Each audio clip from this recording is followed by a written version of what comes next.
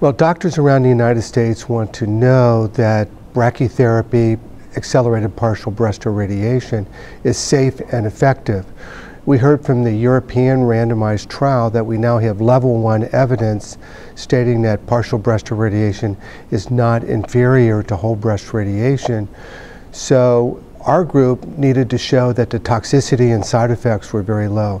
So we have a collaborative registry trial with over 1,300 patients treated at five institutions, and they've all received multi-catheter interstitial brachytherapy, treating two centimeters beyond the lumpectomy cavity in all dimensions.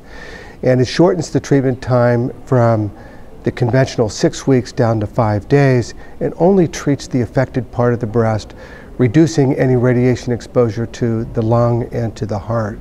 So what we were able to show was the cosmetic outcomes were 91% good or excellent compares to the best whole breast radiation series out there and that the rates of infection, fibrosis, and uh, telangiectasia were extremely low and uh, so it, it's safe.